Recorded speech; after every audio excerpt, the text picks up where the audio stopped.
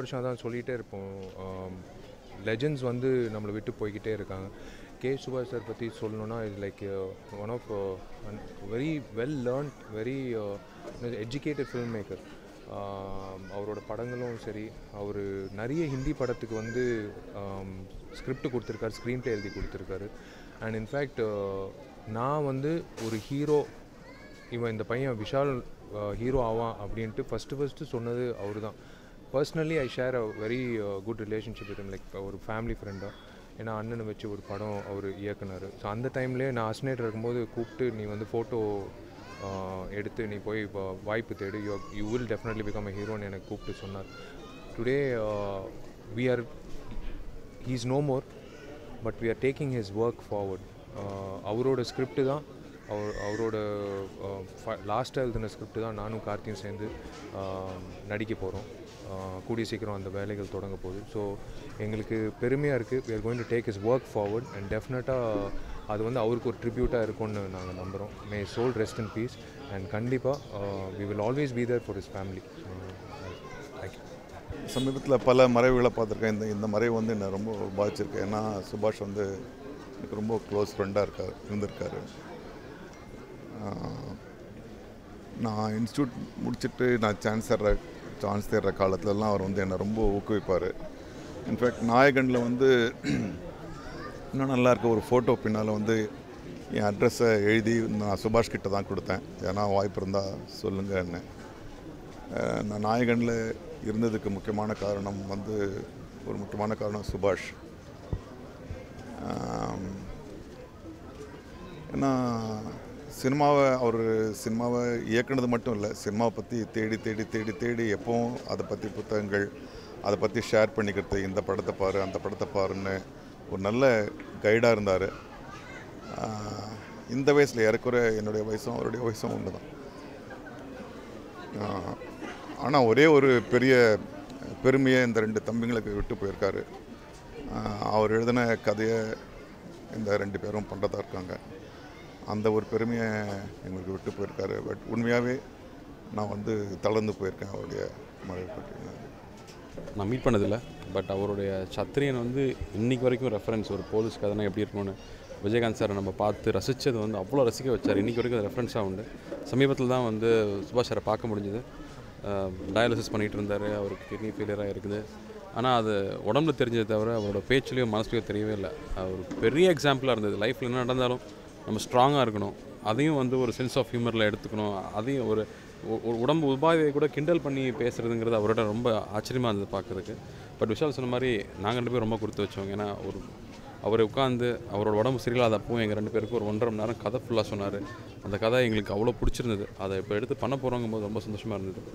And may soul rest in peace thank you என்னுடைய cinema கரியரில் முக்கியமான ஒரு படங்கள் அப்படின்னா அதில் வந்து சபாஷுங்கிற படம் வந்து நிச்சயமாக இடம்பெறும். அதே மாதிரி அபிமன்யு இது வந்து நான் ப்ரொடியூஸ் பண்ண ஒரு படம். சுபாஷுங்கிற ஒரு கலைஞன் வந்து தொடர்ந்து சினிமா மட்டுமே சுவாசிக்கிற ஒரு நல்ல கலைஞன். அவருக்கு நிறைய இடையில வந்து தடங்கல்கள் ஏற்பட்டுரு வாழ்க்கையில் படம் எடுத்து டிஸ்ட்ரிபியூட்டர்லாம் மாட்டி அந்த மாதிரியான ஒரு சுச்சுவேஷனில் வந்து என்கிட்ட வந்தார். அப்போ நான் வந்து அபிமன்யுன்னு ஒரு படம் என்னுடைய சொந்த படம் நான் ஸ்டார்ட் பண்ணேன். ஸ்டார்ட் பண்ணும்போது அவர் சொன்னார் என்னை வச்சு படம் எடுத்திங்கன்னா நீங்கள் மாட்டிக்குவீங்க சார். அப்படி ஒரு சிரமம் உங்களுக்கு வரும்னாரு. நான் சொன்னேன் அப்போ எனக்கு பயங்கர எப்பவுமே எனக்கு வந்து பயம்னு ஒன்று கிடையாது. நான் சொன்னேன் இது ஒரு நீங்கள் ஒரு நல்ல டேரக்டர் இதுக்கு வந்து ஏதாவது வகையில் நான் சப்போர்ட் பண்ண முடிஞ்சுன்னா எனக்கு சந்தோஷமாக இருக்கும். அப்படின்னு நான் ப்ரொடியூஸ் பண்ண படம் அபிமன்யு. இப்போ நினைக்கும் போது கூட அது ஒரு சின்ன சந்தோஷம். ஒரு ஒரு கலைஞனும் இந்த மாதிரி இன்னொரு கலைஞன் நொடிச்சு போகும்போது ஹெல்ப் பண்ணுறதுக்கான ஒரு விஷயமா இருந்ததுன்னா டெஃபினட்டாக இந்த இண்டஸ்ட்ரி வந்து நல்லாயிருக்கும் அதை நம்ம யாருமே நினச்சி பார்க்குறதில்ல. கடைசியில் எங்கே வரோம்னா இந்த மாதிரியான ஒரு மரண செய்தி கேட்டு வருவோமே தவிர அவன் வந்து கொஞ்சம் கஷ்டத்தில் இருக்கும்போது அவனுக்கு ஹெல்ப் பண்ணணும்னு யாருமே நினைக்கிறதில்ல. அது ஒரு பெரிய ப்ராப்ளம் இந்த இண்டஸ்ட்ரியில் நான் எதுக்காக சொல்கிறேன் நான் தயாரித்து ஒரு படம் பண்ணதுக்கப்புறம் அவர் தயாரித்து அந்த சபாஷ்ங்கிற படத்தில் என்ன நடிக்க வச்சார். பிரபுதேவா வச்சு நிறைய படங்கள் பண்ணார். மறுபடியும் அவருடைய வாழ்க்கை வந்து துளிர் விட்டது பட் என் நேரமும் இந்த சினிமாவை சிந்திச்சுட்டு இருக்கவங்களுக்கு அது வெற்றி பெறாத வகையில் வந்து என்னென்னா நிறைய டிப்ரெஷன் ஏற்படும். அந்த மாதிரி நிறைய டிப்ரெஷனுக்குள்ளானார் அவர். எனக்கு தெரிஞ்சு தோல்விங்கிறது வெளியிலேருந்து மனுஷன் கொடுக்குற ப்ரெஷர் வந்து ரொம்ப ஜாஸ்தி. அந்த விஷயம் நிறைய இருந்தது சுபாஷ்க்கு. நான் தொடர்ந்து ஒரு மாதத்துக்கு எப்பாவது கேட்பேன். நீங்கள் எங்கே இருக்கீங்க சார்? நான் பார்க்கலாமா அப்படின்லாம் நான் கேட்குற ஒரே டைரக்டர் வந்து டெஃபினட்டாக சுபாஷ் தான். அவர் நிறைய பெயினில் இருந்து நமக்கு வருத்தமாக இருந்தால் கூட அந்த பெயின்லேருந்து அவர் ரிலீஃப் ஆகிருக்காரு அவருடைய ஆன்மா சாந்தி அடைய என்னுடைய மனப்பூர்வமான வேண்டுதல்கள். எங்களை மாதிரி ஆளுங்களுக்கெல்லாம் இது தாங்க முடியாத இழப்பு.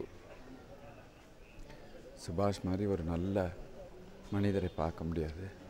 ஹெல்பிங் டெண்டன்சி அவ்வளோ உள்ளவர். எனக்கெல்லாம் ஹெல்ப் பண்ணுறது சுகமாக நினைக்கிறவர் அவர். அன்றைக்கெல்லாம் நான் சுபாஷ் செல்வா அஜித் அப்போ உள்ளே நுழைஞ்ச நேரம் நீ நல்லா வருவ நல்லா வருவேன்னு சொல்லி அவங்களை என்கரேஜ் பண்ணிருக்கிறாரு ஏன்னே தெரியல இது. இந்த வருஷம் ஃபுல்லாகவே ரொம்ப மிகப்பெரிய சினிமா இண்டஸ்ட்ரிக்கு மிகப்பெரிய இழப்பாக இருக்குது ஒரு அருமையான மனுஷன். கிரேட் ஹார்ட் அண்ட் அப்போவே நமக்கு தெரியும். அந்த வில் கோ ஹைட்ஸ் நான் நிறைய படிச்சிட்டேன் அவங்ககிட்ட ஏன்னா அவன் எடிட்டிங் ரூமில் இருந்தது. அப்போ எடிட்டிங் எல்லாம் மூவியோட தானே.